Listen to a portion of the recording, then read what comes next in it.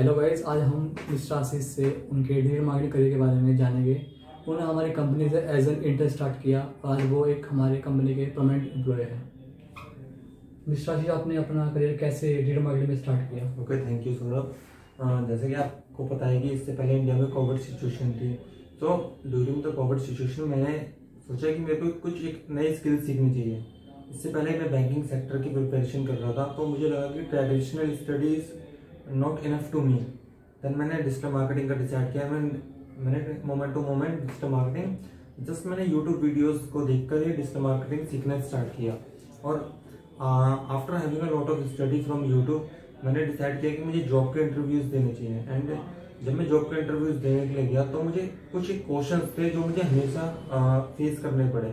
Like do you have any work experience did you work practically and most of them are asking for how many projects did you work on तो ये सभी question थे जिनका मैं, जिनको मैं face नहीं कर पाता था, जिनके मैं आंसर नहीं कर पाता था। देन मैंने डिसाइड किया कि अगर, और ये हमारे सिस्टम का एक ना हिस्सा है कि बिना जॉब करे आपको एक्सपीरियंस नहीं आता और बिना एक्सपीरियंस के आपको जॉब नहीं मिलती। So internship was a good option to me then मैंने इंटर्नशिप के बारे में काफ़ी ज़्यादा सर्च करना स्टार्ट किया और सडनली मुझे यूट्यूब पर एक videos milli king king of digital marketing की। देन मैंने कंपनी में कॉल करी मेरा इंटरव्यू फिक्स हुआ। और मैं जब यहाँ इंटरव्यू देने के लिए आया तो मेरा इंटरव्यू बहुत ही इजीली मैंने क्रैक कर लिया था। सो so, ऐसे मैंने यहाँ पर एज ए इंटर्न स्टार्ट किया। It was a three months of internship to me एक अनपेड इंटर्नशिप थी। बट क्या हुआ कि मैंने यहाँ वन मंथ मैंने वर्क किया यहाँ पर और मेरा वर्क और डिजिटल मार्केटिंग के टुवार्ड डिजिटल मार्केटिंग में मेरे पैशन को देखने के बाद सर ये जो मेरी इंटर्नशिप थी थ्री मंथ्स की ये पेड कर दी थी। So it was a totally paid internship to me and यही था मेरा थ्री मंथ्स का एक्सपीरियंस था मेरा इंटर्नशिप का। उस तो मिस्टर आशीष आपने इस तीन मंथ के ड्यूरेशन में अपने इंटर्नशिप में क्या क्या सीखा? ड्यूरिंग दिस थ्री मंथ्स मैंने ये सीखा कि जो मेरे को एक थियोटिकल नॉलेज थी कि चीज़ें कैसे होती हैं उसके बाद मुझे एक थ्री मंथ्स में मेरे को एक प्रैक्टिकल एक्सपोजर मिला कि चीज़ें काम कैसे करती है। और जस्ट मैंने डिजिटल मार्केटिंग के कई सारे मॉड्यूल्स को पढ़ा लाइक मैंने एस को पढ़ा मैंने पीपीसी को पढ़ा एंड मैंने मुझे सोशल मीडिया मार्केटिंग करने का अपॉर्चुनिटी यहाँ पर मिली। और अपार्ट फ्रॉम दिस मेरे को थोड़ा सा uh, मेरे को वर्ड पे किस तरह से एक वेबसाइट के लिए वर्ड पर कैसे काम किया जाता है और एस पे किस तरह से काम किया जाता है ये सब भी मुझे सीखने को मिला यहाँ पर। तो मिस्टर आशीष अदर एजेंसी और यहाँ की एजेंसी में आपको क्या डिफरेंस लगा कल्चर कल्चर में? जो मेन डिफरेंस मुझे लगता है कि किंग ऑफ़ डिजिटल मार्केटिंग का जो डिफरेंस है अदर एजेंसीज के साथ, वो ये है कि यहाँ पर सबसे बड़ा एडवांटेज जो होता है वो इंटर्न्स को होता है और वो ये होता है कि वो उन्हें हर तरह के एक्सेस मिल जाते हैं। लाइक अगर आप जैसे किसी अदर एजेंसीज में जाओगे तो आपको सिर्फ़ गूगल एनालिटिक्स का या कोई भी एक्सेस नहीं दिए जाते हैं। आपको जस्ट एक ऑफ़ पेज एक्टिविटी दे दी जाती है कि आप आइए इस एक्टिविटीज़ को करिए और बैकलिंक बैकलिंक बिल्डिंग आप करिए।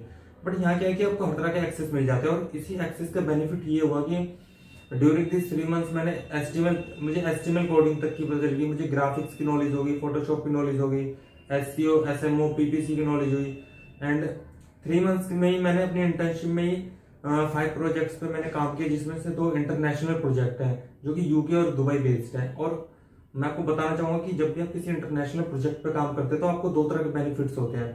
फ़र्स्ट जो आपको बेनिफिट ये होता है कि ये आपकी एक, ये आपके जो एक कॉन्फिडेंस होता है, उसे बूस्ट करता है. कि आपको अपने अंदर एक कॉन्फिडेंस रहेगा कि आपने एक इंटरनेशनल प्रोजेक्ट काम किया एंड अपार्ट फ्रॉम दिस जब भी आप अपने रिज्यूमे में आपके अपने पोर्टफोलियो में इंटरनेशनल प्रोजेक्ट होता है तो एक वो वैल्यू जनरेट करता है। तो मिस्टर आशीष हमारे मतलब काफ़ी लोगों का सवाल होता है कि डिजिटल मार्केटिंग सर करियर में कैसे हम स्टार्ट करें? हाँ ये जब भी लोग डिजिटल मार्केटिंग में आने जाते हैं तो अक्सर उन्हें ऐसा लगता है कि बहुत सारे लोग इस तरह के क्वेश्चन करते हैं कि वो किस तरह से स्टार्ट करना चाहिए। तो यहाँ पर कुछ क्वेश्चन हैं जो ज़्यादातर लोग करते हैं डिजिटल मार्केटिंग के लिए। लाइक लोग के क्वेश्चन ये होते हैं कि कि वो किसी भी एक पर्टिकुलर स्ट्रीम से है तो क्या वो जिस स्ट्रीम में आ सकते हैं डिजिटल मार्केटिंग में? तो मिस्टर आशीष, अगर कोई एज ए इंटर्न यहाँ पर ज्वाइन करता है, उसे क्या क्या सिखाया जाएगा इंटर्नशिप में? फ़र्स्ट ऑफ़ ऑल यहाँ पर एस से स्टार्ट किया जाता है, जिसमें ऑन पे जॉब पे दोनों तरह की एक्टिविटीज़ होती है और साथ ही साथ आपको वर्ड प्रेस एस पे काम करना सिखाया जाता है। एंड इसके बाद आपको सोशल मीडिया सिखाया जाता है एंड लास्ट में आपको पीपीसी सिखाया जाता है। एंड अपार्ट फ्रॉम दिस अगर आप किसी चीज़ को सीखने के लिए ज़्यादा से ज़्यादा मोटिवेटेड हो तो आपको यहाँ पर बहुत तरह की अपॉर्चुनिटीज़ मिलती है और भी चीज़ें सीखने की जैसे कि ग्राफिक डिज़ाइनिंग वेबसाइट डिज़ाइनिंग इस तरह की चीज़ें भी आप ज़्यादा से ज़्यादा सीख सकते हो।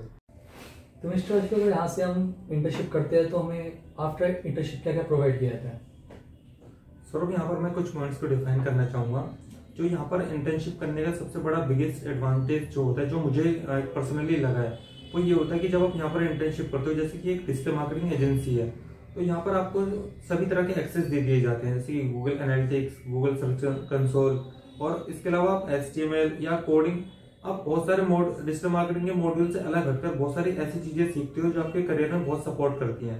इसके अलावा आप जब भी, जैसे ही आप यहाँ पर इंटर्नशिप को कंप्लीट करते हो देन आपको एक जॉब अगर आप एक छोटा सा आपका इंटरव्यू लिया जाता है, और आप उस इंटरव्यू को क्रैक कर लेते हो तो आपको यहाँ पर एक जॉब ऑफ़र की जाती है एंड अगर आप उसे नहीं उस इंटरव्यू को आप क्रैक नहीं कर पाते हो देन आपको एक इंटर्नशिप कंप्लीट करने का एक सर्टिफिकेट दिया जाता है। तो मिस्टर आशीष कई स्टूडेंट का एक जनरल क्वेश्चन होता है कि हमें डिजिटल मार्केटिंग कोर्स करना चाहिए या नहीं करना चाहिए?